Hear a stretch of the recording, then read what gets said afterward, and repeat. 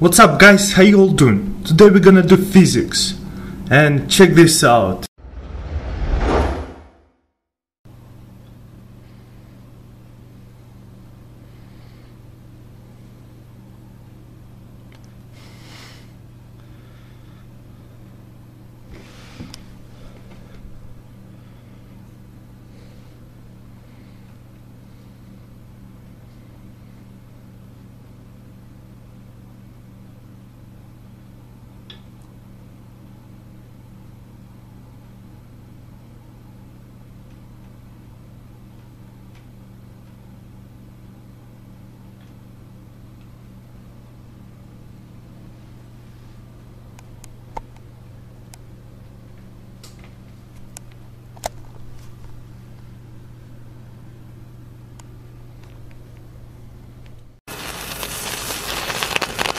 Whoa.